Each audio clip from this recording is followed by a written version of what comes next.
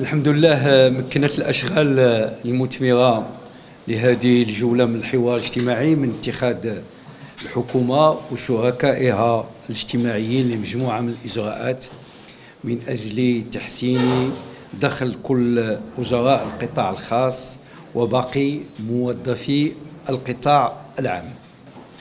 وكتهم هذه الإجراءات ديال جولة أبريل 2024 الزيادة العامة في أجور باقي العاملين في القطاع العام بمبلغ ألف درهم صافية شهريا.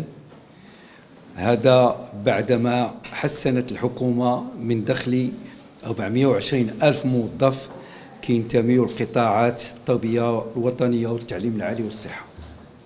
كذلك كاين تخفيض على الضريبة على الدخل ديال لامبو سيو لو ريفوني بالنسبة للموظفين والأجراء بأثر شهري.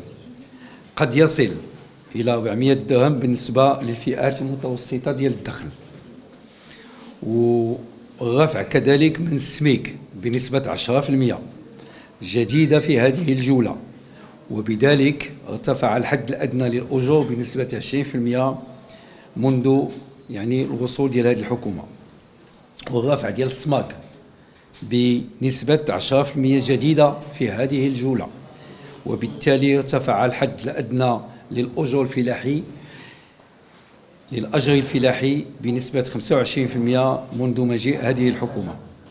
وبهذا ومنذ انطلاق الحوار الاجتماعي يكون عدد المستفيدين من تحسين الدخل قد بلغ 4 ديال الملايين و250 ألف منهم مليون و250 ألف موظف في القطاع العام وثلاثة ديال المليون ديال أجير بالقطاع الخاص وهو ما يؤكد التوجه الديمقراطي والاجتماعي ديال الدولة ديالنا الحمد لله.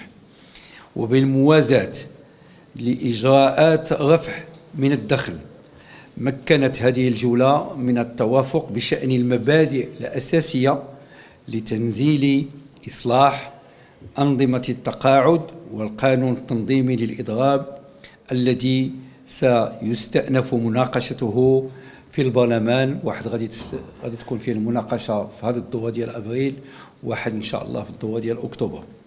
كما ستنكب